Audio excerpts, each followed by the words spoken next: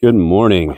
Let's walk through the expansion, um, the plans that I've put together, and you guys tell me uh, what your thoughts are. Um, could have changes to how I'm doing the dust control. Um, maybe have a room specific for processing. Uh, so let's walk through that. Here is the main door entrance, garage door entrance, human entrance over there.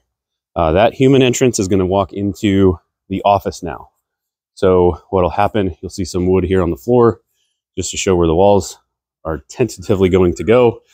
Uh, so a wall this way, we'll talk about in a moment. But here's a wall that's going to go into just the other side of the garage door rails and then come through and this will be the new end of the office. It'll go over to the window uh, in the summertime. I need a window AC unit. Uh, so that's how that, that's my solution for getting air conditioning into the office.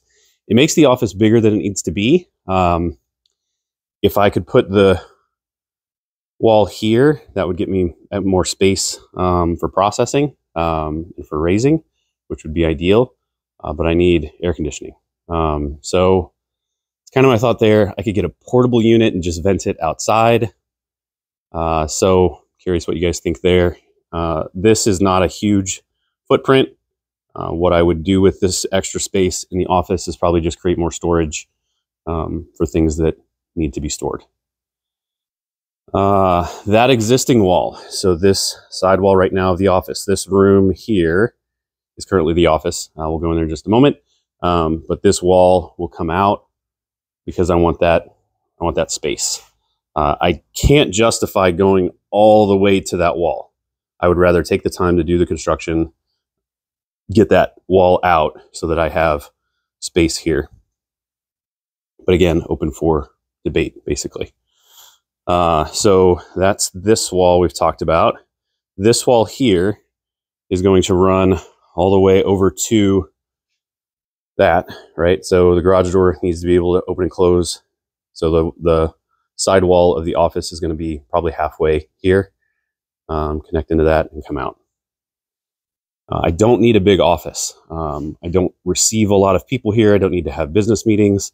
Um, that all happens via uh, Zoom, Google Meet, etc. Uh, what I need the office for is a place to uh, have the computer, um, have labels be able to, to be printed, um, and just general storage. I don't need anything else. Uh, okay, now this wall. So these boards you see on the floor those are going to uh, tie into that 2 by 4 there and basically have the wall come straight out towards me. And this is going to be the new end wall of the insect room. So if we look this way, that door and that wall, that will go away. Um, at least that's what I'm projecting because I just need one big room uh, to do all of this still that's open for debate. Um, that wall needs to stay. Like I have to do all of this construction uh, and then take that wall down because I need the environment uh, for raising the insects in that room, right? So still up for debate on whether or not that wall comes down. Uh, you can see the pink foam uh, boards. That's where the HVAC unit is. So that'll be a, a general utility room. Um, have some storage in there. There will eventually be an interior door um, that replaces the panel on this side uh, so that I can access all of that easier. Okay. Um, but this wall here will go all the way to the ceiling. Uh, all that storage stuff up there comes out. That'll all be insulated. Uh, and this becomes the new end wall. Now within this end wall, what I'm going to do is put double doors. So instead of a single door, I'll have double doors here. Uh, somewhere uh, within uh, access or somewhere somewhere in the middle, like probably where the uh, relief line is there. Um, because what I'm thinking is I want to, what I can do now by putting all of this in place, getting this gravel in place, it has opened up my options to uh, unload with the tractor. So uh, instead of manually unloading that out of the truck, I'll have it loaded on a pallet uh, and then I'll grab the tractor, bring it over. And what I'm going to uh, plan on doing is that blue metal racking, that is going to come out from that corner and it is going to be in this corner now, right? So that I can basically pull in with the tractor um, and take loads of wheat bran and just drop them on the floor and then also drop one in the middle. Um, the other thing that that will be helpful for is frass. Uh, so one of the things that's going to change, uh, I am purchasing a Chore-Time auger.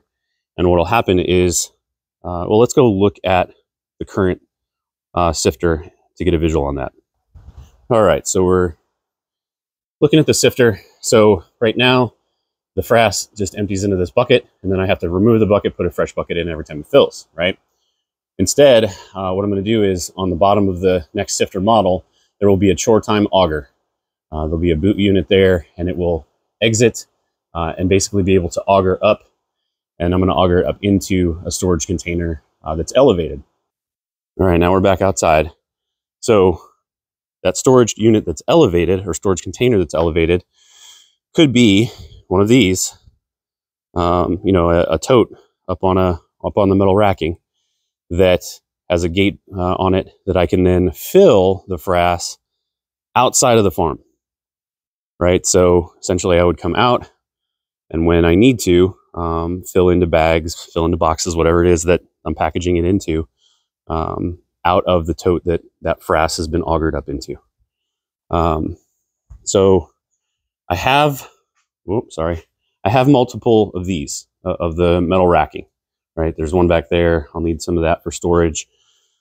Uh, so what I'm thinking is, from a frass perspective, if I put that metal racking over here where the deep freezes are, so there's the wall, put the metal racking there, and then have the totes, potentially multiple totes, uh, at least one for now, and then processing, like where the dehydrator is now, which is going, it's gone um, needs to be packaged up and shipped out.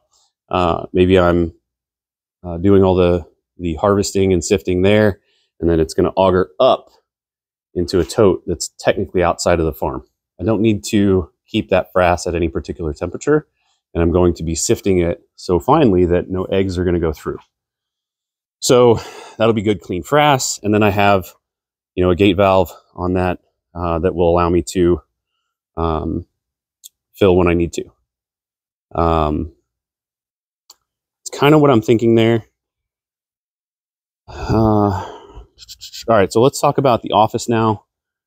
So with the wall moving and adjusting um, here, that becomes the end of the new office. So this room, if we go in there, does have a window in there. Uh, and what I'm thinking is this could potentially stay. It's it's all the way tall, right? There's no drop ceiling or anything. This could potentially stay and it turns into a processing room. My problem with that, or the thing I need to address is I don't I don't want to have to open and close the door constantly, going in and out, moving trays, moving stacks of trays in and out. Um, and as I think through this, that messes up the uh, frass movement idea um, if the processing is over there. Uh, but let's just talk about the potential of a of a sectioned off area to do the the processing. Okay, we'll think about the frass movement uh, as part of that. Um, so instead of a door, my thought was to have uh, those plastic flappy things, uh, whatever those things are technically called, that uh, allow me to go in and out. Uh, because remember, everything everything's going to be on wheels, right? Um, and so I need to be able to roll in easily, uh, do the work I need to do, and roll it back out. And so the door's going to go. It'll need to be some sort of those clear, like vinyl, plastic, whatever they are, um, to help keep uh, the dust I'm not so much worried about the the temperature or anything. Uh, it'll stay um, it'll stay what it'll be, but the movement in and out and then the containment of the dust. Um, And as I work through the dust scenario, uh, I'm really liking the Grizzly setup. Uh, I think maybe putting it in some sort of a enclosed uh, tent-ish type area uh, is the next step um, instead of trying to encapsulate what I'm working on. Uh, but long-term plan, the sifter is going to be a different design. The trays are going to sit inside of each other, uh, and I'll need the hood on top.